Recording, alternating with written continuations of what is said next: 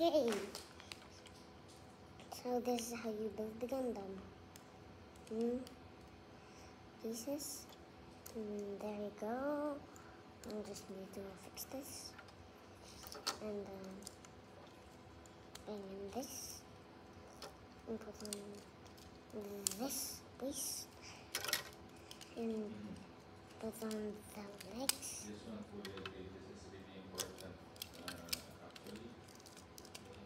And that is how you build a gun. And what these are the weapons equipped.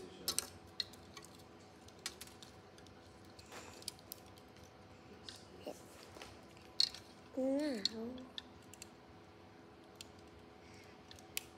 that is how you build a Gundam.